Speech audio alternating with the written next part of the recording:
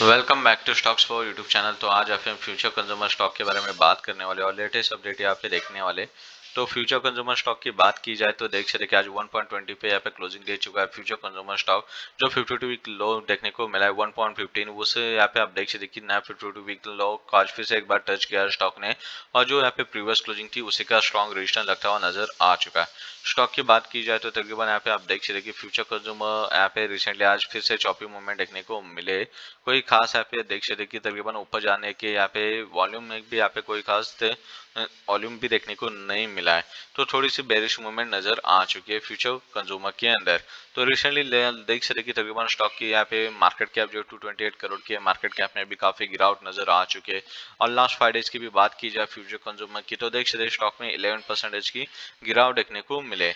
Volume की बात की जाए तो ट्रेडेड वॉल्यूम जो है 44 लाख के यहाँ पे ट्रेडेड वॉल्यूम जनरेट हो चुका है। ट्रेडेड वैल्यू जो है 52 लाख का ट्रेडेड वैल्यू देखने को मिला है।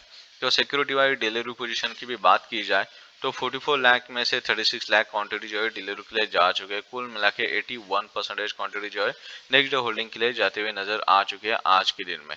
तो बाकी के जो डिटेल है, उसके ऊपर हम लोग नज़र डालने वाले हैं स्टॉक के। तो देख सकते कि तकरीबन यहाँ पे चार्ट के ऊपर नज़र डालेंगे स्टॉक के। तो देख सकते हर रोज यहाँ पे नया फिफ्टी टू वीक लो देखने को मिला इस मंथ में तो काफ़ी गिरावट होती हुई नज़र आ चुकी है स्टॉक के अंदर। तो देख सकते कि स्टॉक और नीचे जाता है। तो वन लेवल तक जाने के चांसेस दिखाई दे सकते हैं स्टॉक के अंदर। तो ये थे latest update Future Consumer stock के लिए।